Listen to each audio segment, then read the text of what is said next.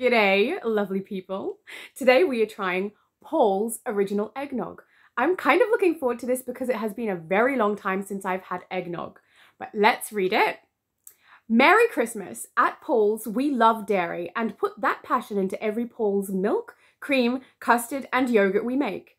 Paul's eggnog flavored milk is delicious on its own, but why not try it in our festive recipes? And then it provides you a couple of recipes just there. That's kind of cool. But let's taste it and see if it's like the eggnog I remember.